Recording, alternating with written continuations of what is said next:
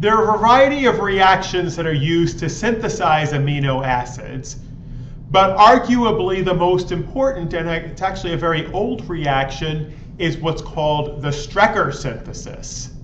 And the Strecker synthesis is a two-step process. So in the first reaction, you react an aldehyde with ammonia and HCN, put those things together, and they undergo a three-component reaction to give an amino nitrile. Okay, so where you have a carbon that contains both an NH2 and a CN group. And then in a second reaction, this nitrile undergoes hydrolysis under acidic conditions to turn the C triple bond N into a carboxylic acid and give you the amino acid that you desire.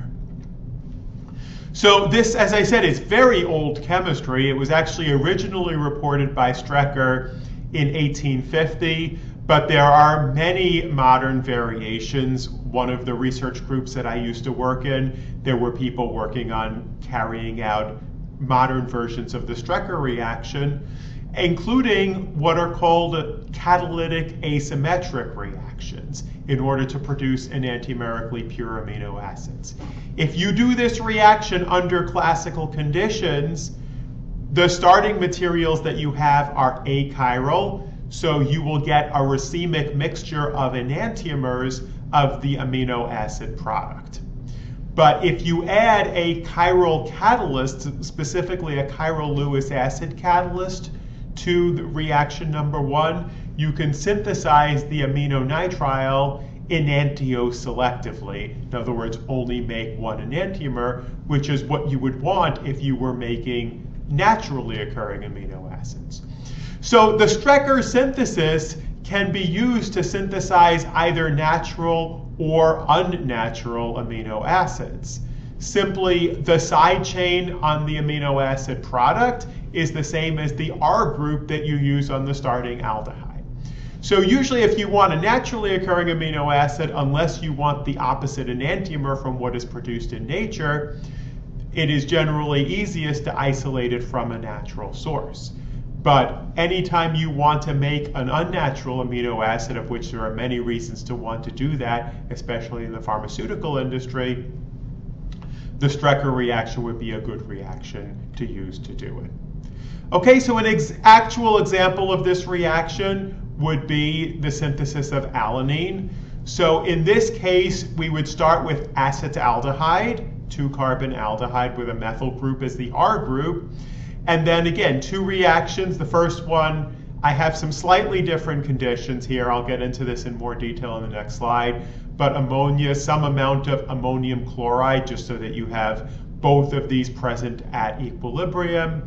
And then TMSCN is sometimes used as a more modern cyanide source rather than HCN. And then in the second reaction, of course, um, aqueous acid, and that will give you the amino acid. And of course, in this case, I drew the amino acid product in its proper Zwitter ionic form. Okay, let's look at some of the details of the first reaction. This is not a detailed mechanism, it's just kind of an overview of how this reaction works. So the aldehyde is initially going to react with ammonia to give an imine. Um, it's actually probably a mixture of the imine and the iminium ion, especially if you do this under slightly acidic conditions, which you would normally do to form an imine the ammonium chloride that I talked about in the previous reaction is simply the conjugate acid of ammonia. And as long as you have some of that present, the reaction will take place at the proper pH to favor imine formation. Now, imines derived from ammonia tend to be too unstable to isolate. So we need to include the nucleophile that's going to come in and attack the imine, namely cyanide, in the same reaction. Okay, so this second reaction of the iminium ion, that's going to be more reactive than the neutral imine, with cyanide is similar to cyanohydrin formation, which we also studied previously. That's simply the uh, attack of cyanide on an aldehyde or a ketone. So note that at least under the pH slightly acidic pH that you would typically carry out these reactions, HCN, CN minus, the imine, and the iminium ion are probably all present in some sort of complex equilibrium. And the key is if you were to write a detailed mechanism, you would be able to access whichever intermediate you need in a particular step of the mechanism. Okay, and then also, as I said previously, rather than HCN, reactions today typically use trimethylsilyl cyanide. That's what TMSCN is. It's just a slightly more user-friendly version of cyanide, a little less toxic. And Lewis acids are sometimes used as catalysts.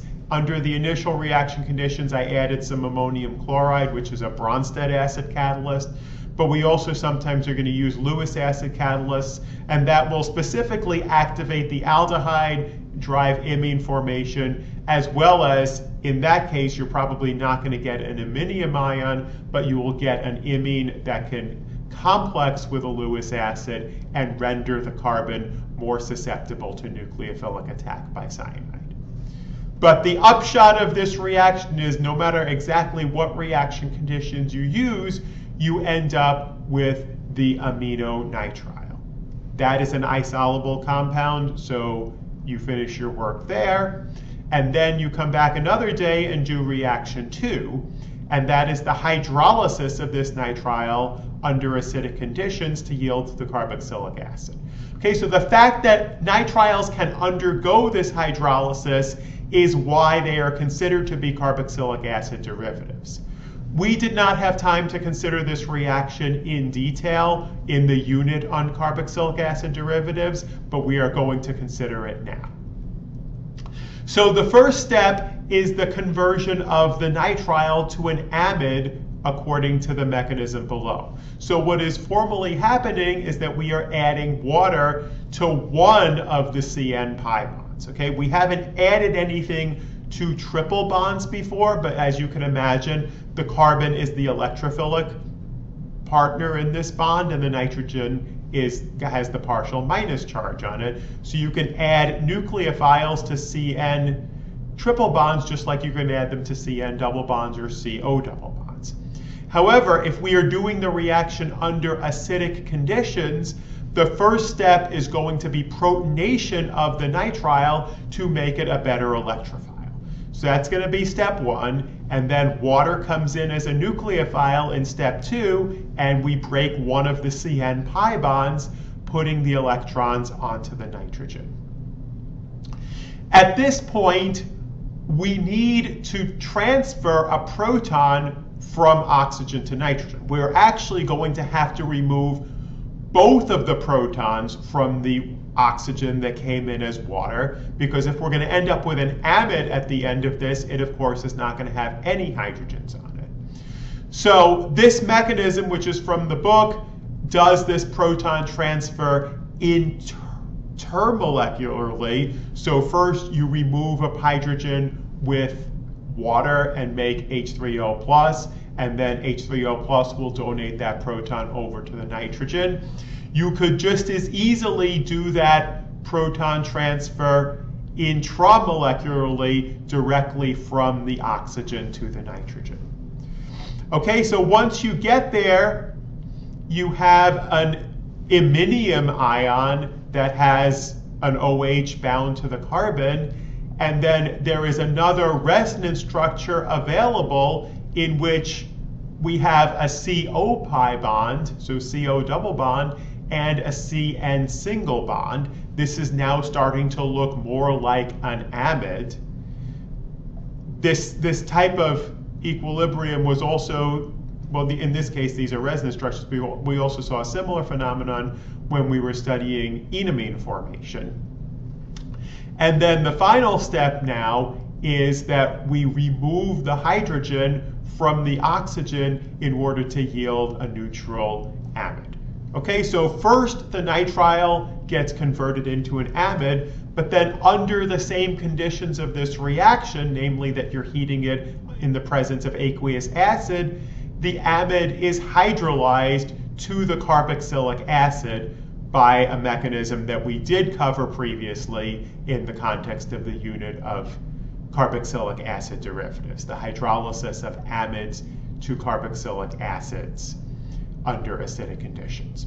So that's the Strecker reaction. Again, there are research groups still using this. It is used extensively for the synthesis of amino acids today, but I just wanted to give you an overview of how the reaction works and what it does.